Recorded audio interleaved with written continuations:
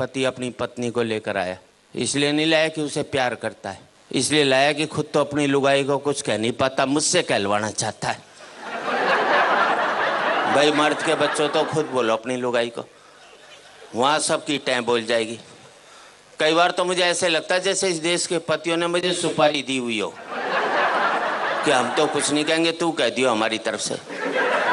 या देखा जाए तो इस देश के पतियों का मैं अंबेडकर हूँ।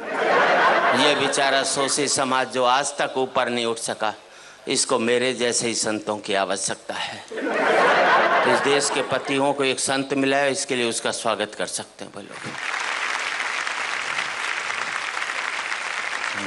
पत्नी नहीं देखे, बस इस हिसाब से ताली बजाओ।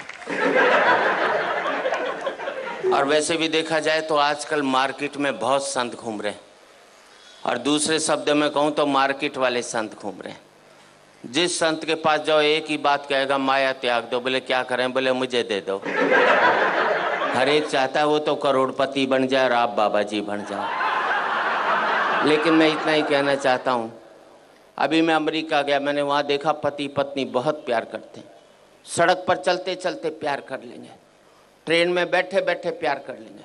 हिंदुस्तान में तो पति सारा घर में प्यार नहीं करता, बाहर की तो बात छोड़ दीजिए। इतना प्यार करते हैं अमेरिका में पति, पत्नी की उनका प्यार का कोटा दो साल में पूरा हो लेता है।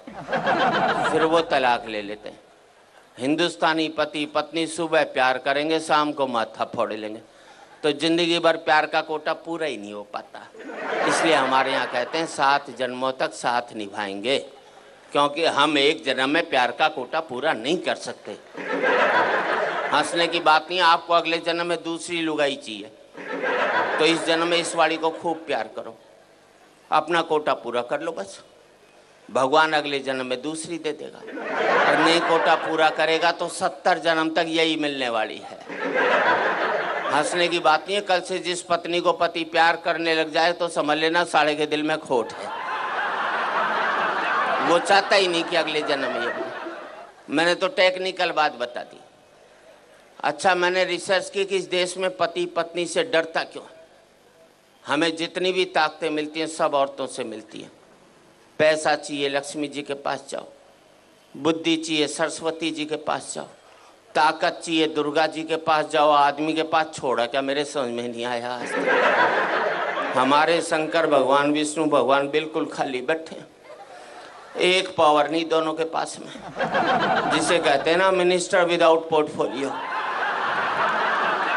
इसलिए एक जाकर बेचारा पहाड़ पर बैठ गया। और कपड़े भी कितने दिए पहनने को? देखो इसे। गले में सांप और डाल दिया। थोड़ी कसर बची थी तो जटा से गंगा और निकलवा दी ठंड के अंदर। पीने को मांगा तो विष पिला दिया। ऐसे में आदमी टांडव नहीं करेगा तो क्या बांसुरी बजाएगा भाई सीधी से? दूसरे को शेषनाग पर लिटा दिया। वो भी समुंदर में दूर दूर तक पीने का पानी भी नसीब नहीं हो सकता।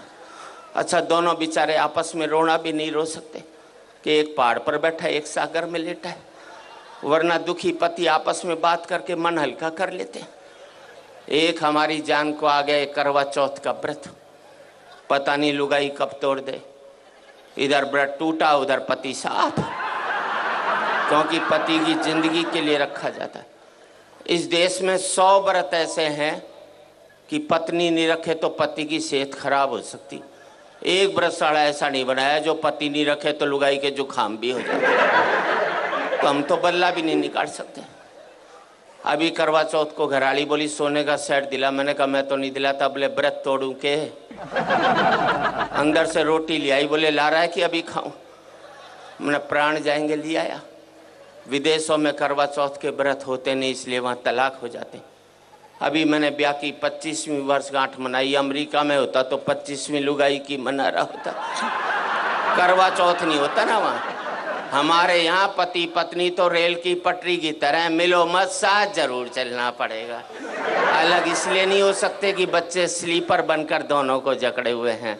ना इसको इधर जाने देते हैं ना उसको उधर जाने देते। अच्छा इस देश में हर एक पत्नी पति को एक धमकी ज़रूर देती है। मैं तो बच्चों की वजह से टिकी हुई हूँ। वरना कब की निकल जाती? अब मैंने अपनी लुगाई से कहा, मैंने देख, सारे बच्चे ब्याली, अब तो निकल ले। बोले, ना, जरा पोते का ब्याह और देख लो। उसने कभी नहीं निकलना। और मैं आप सबसे एक ही बात कहना चाहता हूँ, जिन परिवारों ने ये बच्चों के स्लीपर मज़बूत रख लिए, वो पति पत्नी खट्टे रह गए। जिनके ये स्लीपर कमज़ोर हो गए, वो पति पत्नी भी अलग अलग